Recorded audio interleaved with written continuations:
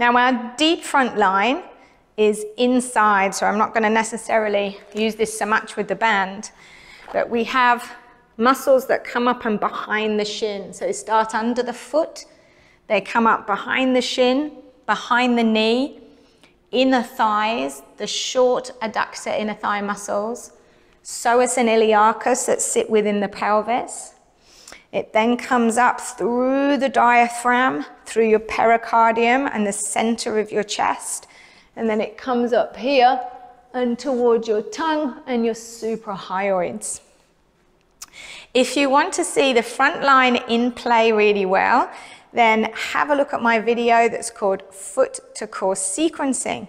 So you can see how when you tension the front line through your feet, it can create some tension in your inner thighs, the floor of your pelvis, diaphragm, and then if you add your tongue connection on at the top, You've got stability through that whole train of fascia. All right, we're finally coming to our two arm lines. So we have a front arm line. Now again, this runs pretty much from pec major, pec minor, through biceps brachii, and then we're looking at the thinner side of the body, which is our thumb side of the arm. So that's our flexion and radial side of the arm. And if you just spin around for me. Then we have the extensor side of the arm. So we've got rhomboids here, deltoid, triceps. And then that's running down more to the ulnar side of the body, which is the little finger side of the body.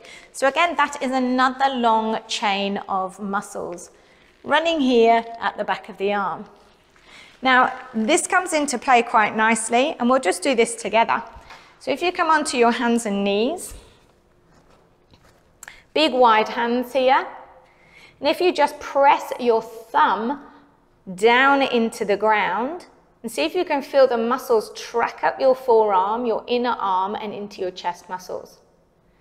You feel that? And then relax, and then we're going to press our little finger and fourth finger down.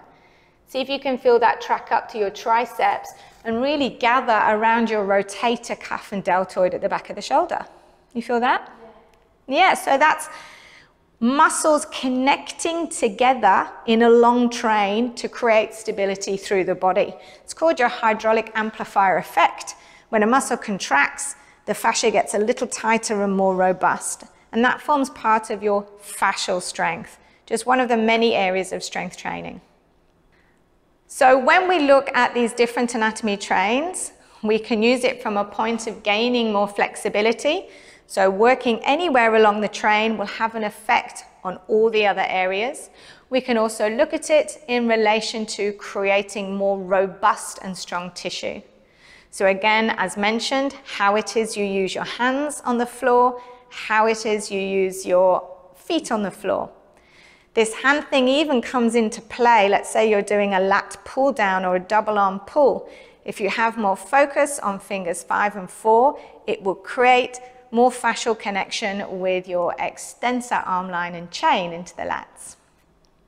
I hope this is interesting, but it's not going to be as interesting as actually reading the Anatomy Trains book yourself.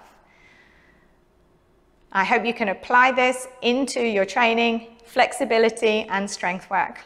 Bye for now.